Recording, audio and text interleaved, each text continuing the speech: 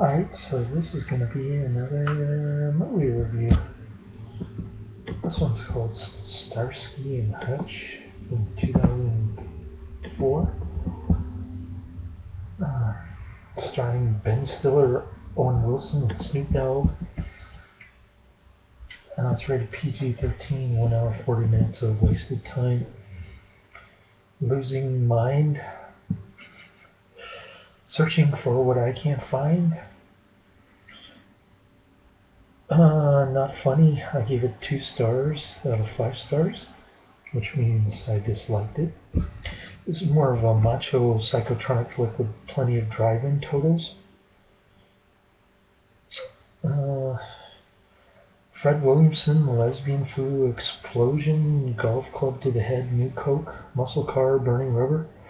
Other than that, it's just a boring tale about a couple of eccentric coppers going after a drug dealer. Yawn.